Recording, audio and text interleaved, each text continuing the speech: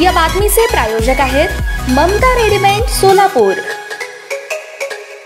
Smart city पोचम पाड company यांच्यातील तडजोड प्रस्तावात लवादानं मंजुरी दिली आहे. त्यानुसार मक्तेदाराबरोबर करार प्रक्रिया होत असून येत्या दीड वर्षात उजनी सोलापूर दुहेरी जलवाहिनीचं काम पोचम पाड कंपनीमार्फत पूर्ण करण्यात येणार आहे. शहराच्या पाणी पुरवठ्याचा प्रश्न सध्या आहे. त्यासाठी महत्त्वाचा काळ निघून चाललाय. त्यामुळे लवादानं तातडीनं निर्णय घ्यावा अशी विनंती सीओ शीतल तेली उगले यांनी केली होती.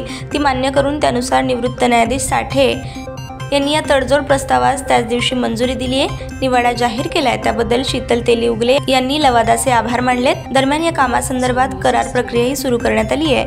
या अंतर्गत मक्तेदाराकडून बँक गॅरंटीसह कराराची पूर्तता करण्यात येते सर्व काम चार्टप्रमाणे होणार असून अठरा महिन्यात ते पूर्ण होणार आहे. सीओ शीतल तेली उगले यांच्या विनंतीमुळे लवादानं तत्पर निर्णय दिलाय. त्यामुळे अठ्ठावीस एप्रिल रोजी निवाडाही घोषित करण्यात आला. ही प्रक्रिया जलद गतीनं सुरू करण्यास मदत झाली आहे ताज्या बातम्या पाहण्यासाठी प्राईम महाराष्ट्र न्यूज चॅनलला सबस्क्राईब करा.